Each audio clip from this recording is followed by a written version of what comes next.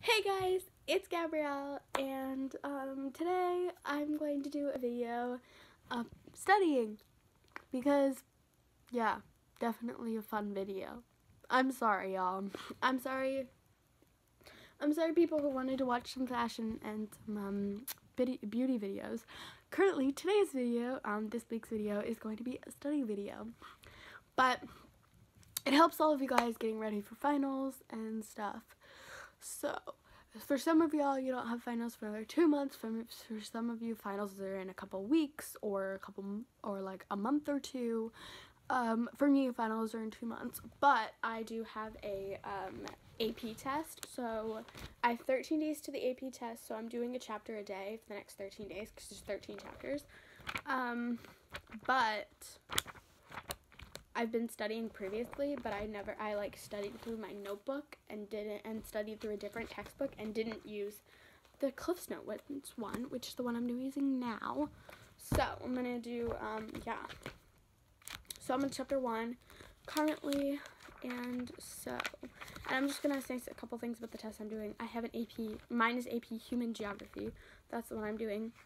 Um, and so it's 75 multiple choice questions and you get 60 minutes for the multiple choice and then there's like a 20 minute or something like that. Then there's like a tiny bit of a then there's like a tiny break and then there's three res- free response questions so there's three frqs um, that you each get 25 minutes for each frq so it's about two hours like the test when you're actually testing is about two and a half hours a little less than two and a half hours something like that something around that.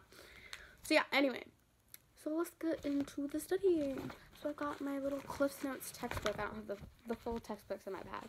And I've got my notebook. And I'm mostly going to be using this textbook for the first couple chapters, for the first couple days.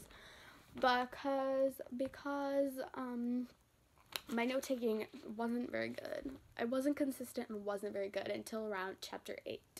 So, for the eight, first couple days, we're just going to essentially use this. Alrighty let's go through it. So I'm not going to read you this because copyright, but I'm going to show you guys. I'm going to do a time lapse. I'm going to do time. I can't speak. Okay, I can't speak today. I'm going to do a time lapse of studying and stuff and just um type and do a voiceover of some tips and tricks and stuff that I've learned. So I hope you guys like this. This is mostly going to be a voiceover um a voiceover video so i hope you guys like this and i will see you guys in the outro. Okay yeah. Let's let's just get into the video. Okay yeah. Let's get into the video. Okay so my first tip is to set a reminder on your phone um, for a specific time of day um, that you will study every single day. Um, it'll just help you a lot because if you set a reminder it, on your phone it'll remind you and you'll be like oh i have to study now and you'll start studying so that's that's a good option. The second tip I have is to watch a documentary or a TED Talk about the topic you are studying. So, my textbook actually, this textbook I'm using actually has, um, because it's the getting ready for the test one, it has the, um, it has like TED Talks and websites and stuff like that for um, after every chapter that'll help you review. And so that's that's a really good option. Um, so another tip um, is to say things out loud um, to remember. It'll help um, memory. It'll just help you remember things a lot easier. Okay, so another thing is to make your space as close to the place you're taking the test. So like sitting in upright position um, with a number two pencil or um, just as close to that as close to your test environment as possible. So like no background noise, whatever. Um, another thing is in write important things down. Don't just like read the text. Um, also write down important key like topics, key terms, you know, things like that. Also to go along with the writing things down, write down any questions you have about the readings, you can go and look it up after you read to better help you or help you understand better. Another tip is to take breaks. Um, but instead of take when you take small breaks um, don't go on your phone go for like a jog or a walk or pet an animal because that'll help you um, de-stress better instead of being on your phone Another tip is to start studying early. I know this might sound cliche, but if you start studying earlier, you have more time to study a chapter um, or you have more time to t- study. And so if you start specifically on a, on a day, so you have enough time to study a chapter a day or a section a day, don't cram the day before because that will hurt you and actually you're, you will not remember any of that. Okay, so you can also um, like have study groups or make a group chat for your um, like your class and it'll help if you don't understand stuff so you can ask them. Um, another tip um, is to another tip is to um, when you study wait an hour after you study um, so like do stuff other stuff for an hour before you take a practice test because when you take a practice test right after what you reviewed you'll remember better but after an hour you won't remember you'll remember as much as you will realistically remember on the test. So that is an easy way to um, know how much you remember of the text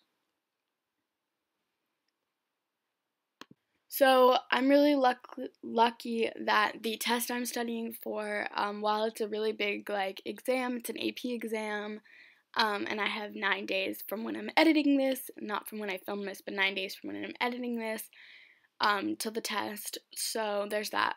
But um, as I'm doing this, I'm reviewing. Um, there's 13 chapters, and when I started um, reviewing, I had 13 days till the test, so I review a chapter a day.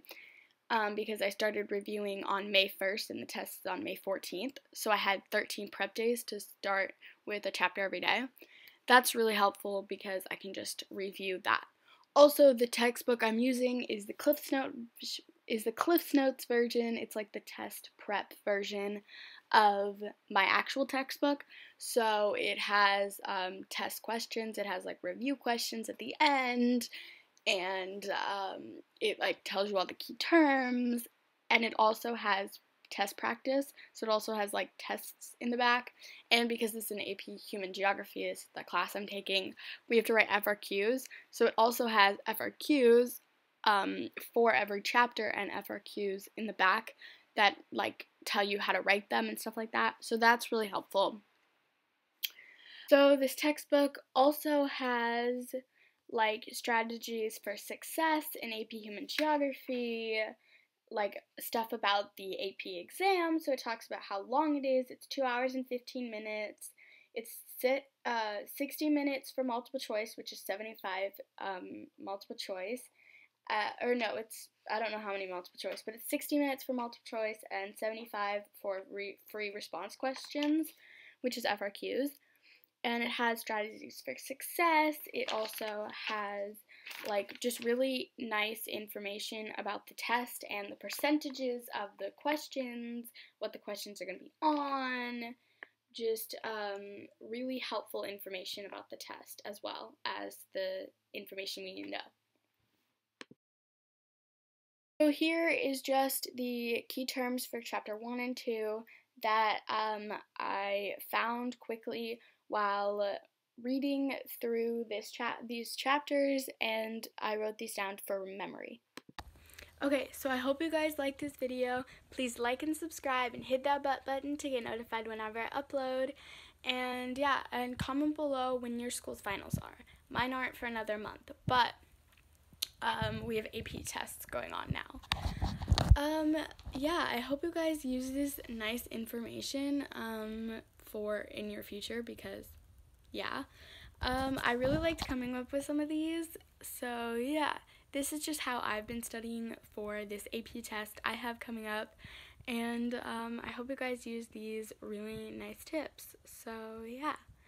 Um, I'll see you guys another um, next week with another video. Bye!